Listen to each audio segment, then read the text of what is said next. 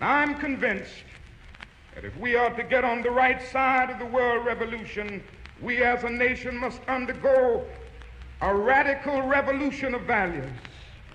We must rapidly begin to shift from a thing oriented society to a person oriented society when machines and computers, profit motives, and property rights are considered more important than people.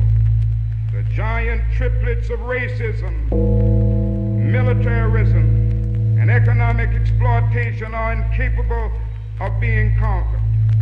A true revolution of values will soon cause a true revolution of values will soon look uneasily on the glaring contrast of poverty and wealth with indignation.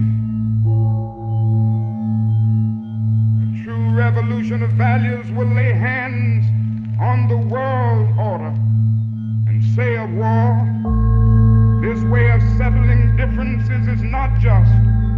This business of burning human beings with napalm, of sending men home from dark and bloody battlefields, physically handicapped and psychologically deranged, cannot be reconciled with wisdom, justice, and love.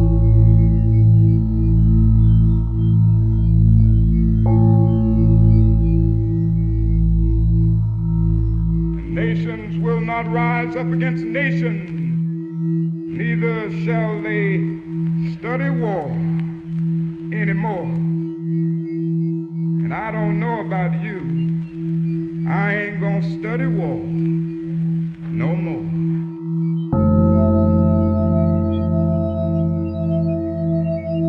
A nation that continues year after year spend more money on military defense than on programs of social uplift is approaching spiritual death.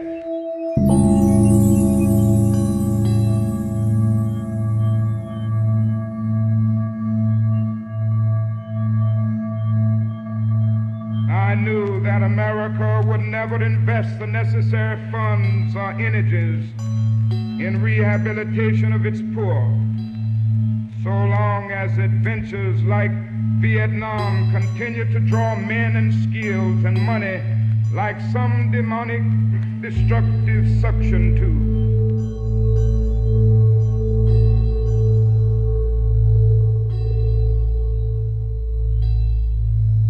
Don't let anybody make you think as his divine messianic force to be a sort of policeman of the whole world. God has a way of standing before the nations with judgment, and it seems that I can hear God saying to America, You're too arrogant. If you don't change your ways, I will rise up and break the backbone of your power. Place it in the hands of a nation that doesn't even know my name. I call on Washington today. I call on every man and woman of goodwill all over America today.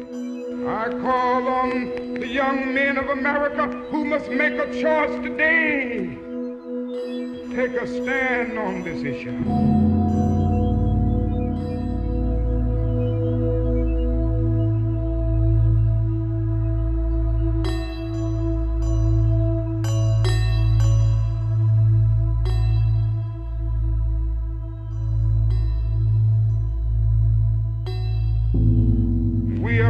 Moving down a dead end road that can lead to national disaster.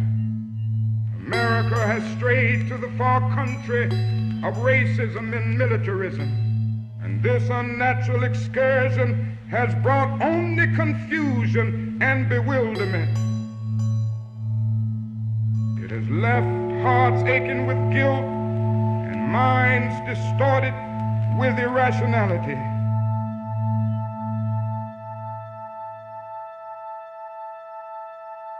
It is time for all people of conscience to call upon America to come back home.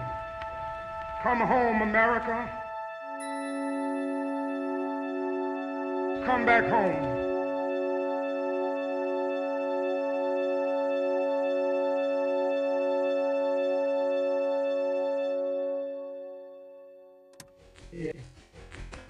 They, oh, our government and the press generally won't tell us these things, but God told me to tell you this morning. The truth must be told.